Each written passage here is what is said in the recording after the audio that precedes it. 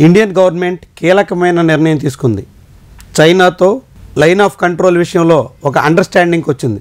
ముఖ్యంగా నాలుగున్నరేళ్ళ ముందటి నాటి పరిస్థితిని పునరుద్ధరించాలని ఇండియా చైనా డిసైడ్ అయ్యాయి. ఇదొక కీలకమైనటువంటి పరిణామం. ముఖ్యంగా రెండు వేల ఇరవై మే నెలలో జరిగిన గాల్వాన్ లోయ ఉదంతానికి కారణమైనటువంటి ఉద్రిక్తతలు అన్నీ తొలగిపోతాయని ఇప్పుడు ఇండియా చైనా చెప్తున్నాయి. ప్రపంచంలోనే అత్యంత ప్రధానమైనటువంటి ఆర్థిక వ్యవస్థల్లో ఇప్పుడు చైనా ఇండియా ముందంజలో ఉన్నాయి. అమెరికా ఆర్థిక పరిస్థితి రాను రాను దిగజారుతుంటే ఇండియా చైనాలే ఇప్పుడు ప్రపంచాన్ని శాసించబోయే దేశాలుగా అంతా పరిగణిస్తున్నారు.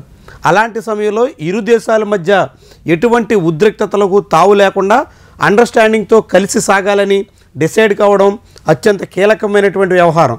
ముఖ్యంగా గాల్వాన్ లోయ పరిణామాల కారణంగా ఇరు దేశాలు తీవ్రమైనటువంటి ఉద్రిక్త వాతావరణంలోకి వెళ్ళాయి. ఇరు దేశాలు సైన్యాల్ని మోహరించడం భారీ స్థాయిలో సైనికుల కోసం ఖర్చు పెట్టాల్సినటువంటి రావడంతో ఇద్దరు ఇబ్బంది పడేటువంటి పరిస్థితి వచ్చింది. ఇప్పుడు అలాంటి పరిస్థితులు చక్కదిద్దుకుని ఒక ఒప్పందానికి వచ్చినటువంటి తరుణంలో అది కూడా అత్యంత కీలకమైనటువంటి సందర్భం. ఈ రోజు నుంచి బ్రిక్స్ దేశాల సమ్మిట్ జరుగుతుంది. రష్యాలోనే ఖజాన్ అందుకు వేదిక అవుతుంది. ఈరోజు భారత ప్రధానమంత్రి నరేంద్ర మోదీ ఖజాన్ బయలుదేరారు. ఇక అన్ని దేశాలు ముఖ్యమైనటువంటి బ్రిక్స్లో ఉన్న Brazil Russia India China South Africa. ఈ ఐదు దేశాల అధ్యక్షులతో పాటుగా మొత్తంగా ఇటీవల బ్రిక్స్లో చేరిపోయినటువంటి పద్నాలుగు దేశాలకు సంబంధించినటువంటి అధ్యక్షులు కూడా అక్కడికి హాజరవుతున్నారు. అత్యంత కీలకమైనటువంటి సమ్మిట్. ఆ సమ్మిట్కి ఒక్కరోజు ముందే ఇండియా చైనా చేతులు కలిపాయి. ఉమ్మడి నిర్ణయానికి వచ్చాయి. ఎటువంటి ఉద్రిక్తతలకు తావు లేకుండా కలిసి సాగాలని నిర్ణయం తీసుకున్నాయి. ఇప్పుడు బ్రిక్స్లో మరోసారి నరేంద్ర మోదీ చైనా ప్రెసిడెంట్ కలవబోతున్నారు.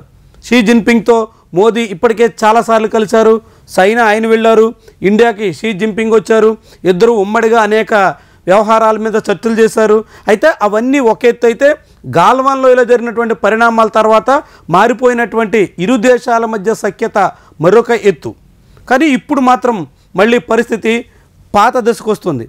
ఇరువురు ఒక అవగాహనకు వస్తున్నారు. అది కూడా బ్రిక్స్ సమ్మిట్కి ఒక్కరోజు ముందు ఒప్పందం చేసుకోవడం ఇరువురు ఇప్పుడు బ్రిక్స్ సమ్మిట్లో కలుస్తూ ఉండడం కీలకమైనటువంటి వ్యవహారం. బ్రిక్స్లో అత్యంత ప్రధానమైనటువంటి నిర్ణయాలు తీసుకోబోతున్నారు.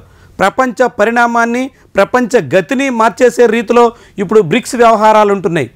ప్రపంచంలో ప్రస్తుతం జీడిపి లెక్కలు తీసుకుంటే బ్రిక్స్లో ఉన్న దేశాలే ఇప్పుడు జీ సెవెన్ దేశాల కన్నా ఎక్కువ కనిపిస్తోంది. దాంతో జీడిపి పరంగా చూసినా ఆర్థిక వ్యవస్థల పరంగా చూసినా సైనికంగా చూసినా అన్ని రకాలుగా కూడా ఇప్పుడు జీ సెవెన్ దేశాలని బ్రిక్స్ అధిగమించినట్టయింది. అలాంటి బ్రిక్స్ దేశాల సమ్మిట్లో ఇప్పుడు ఇండియా చైనా కలిసి ఉమ్మడిగా కొన్ని నిర్ణయాలు చేయబోతున్నాయి. అలాంటి తరుణంలోనే ఒకరోజు ముందు సైనిక పరంగా ఉద్రిక్తతకు తావు లేకుండా కొనసాగాలని నిర్ణయించడం ఆసక్తికరమైన అంశం. మరొకవైపు కెనడా పేరుతో అమెరికా ఇండియాను బ్లాక్మెయిల్ చేసే ప్రయత్నం చేస్తుంది. కెనడాలో ఇండియన్ అంబాసిడర్లని అన్ని రకాలుగాను వేధించే ప్రయత్నం జరిగింది. దానికి ప్రతిగా ఇండియా కూడా కెనడా అంబాసిడర్లని మొన్న పంతొమ్మిదో తారీఖు నాటికే విడిచి వెళ్ళాలని ఆదేశాలు కూడా ఇవ్వాల్సిన పరిస్థితి వచ్చింది. అదే సమయంలో కెనడాతో పాటుగా అమెరికా కూడా రంగంలో దిగింది. ఇండియాకి చెందిన రా ఏజెంట్ వివేక్ యాదవ్ మీద నోటీసులు జారీ చేసింది. అమెరికన్ పౌరుడు పన్ను మర్డర్ కేసులో నిందితుడిగా పేర్కొంది. తద్వారా ఇండియా అమెరికా మధ్య కూడా సంబంధాలు సన్నగిల్లుతున్నటువంటి తరుణంలో నేరుగా మోడీ చైనాతో ఒక ఒప్పందానికి రావడం ద్వారా అమెరికాకి పెద్ద సంకేతమే పంపించినట్టయింది. కెనడా సహాయంతో అమెరికా ఇండియాను బ్లాక్మెయిల్ చేయాలని చూస్తే ఇప్పుడు చైనాతో చేతులు కలపడం ద్వారా మోదీ అమెరికాకి గట్టి సమాధానం ఇచ్చినట్టుగా కనిపిస్తోంది. ఇదొక ప్రపంచంలో ఒక కీలకమైన పరిణామం. చాలా కాలంగా రష్యా చైనా కూడా ఇండియాని ఒప్పించే ప్రయత్నం చేస్తున్నాయి. మనమంతా ఉమ్మడిగా ఒక నిర్ణయానికి వస్తే అమెరికా ఆట కట్టించవచ్చు అని ఇండియాకి చెబుతూ వస్తున్నాయి. అయితే ఇండియా మాత్రం అమెరికాతో కలిసి సాగేందుకే అన్ని వ్యవహారాల్లోనూ మొగ్గు చూపింది.